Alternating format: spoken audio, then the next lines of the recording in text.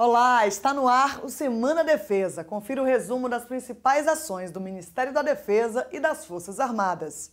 A Força Aérea Brasileira ativou uma zona de identificação de defesa aérea para aumentar a capacidade de proteção da reserva Yanomami ao norte do país. A ação, determinada por meio de decreto presidencial, contribui para o combate ao garimpo ilegal. As aeronaves que descumprirem as regras estarão sujeitas às medidas de policiamento do espaço aéreo. Em ação interministerial, as Forças Armadas viabilizaram a entrega de mais de 75 toneladas de mantimentos e medicamentos às comunidades Yanomamis, em Roraima.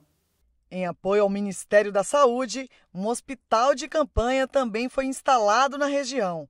A unidade, que conta com leitos e uma equipe multidisciplinar de médicos, já realizou cerca de 600 atendimentos. Devido a fortes chuvas no Rio de Janeiro, o Exército desobstruiu rios e vias urbanas e rurais em assistência à população do município de Engenheiro Paulo de Frontin. Os militares realizaram a remoção de cerca de 2 mil metros cúbicos de resíduos sólidos, como barro, troncos e vegetação.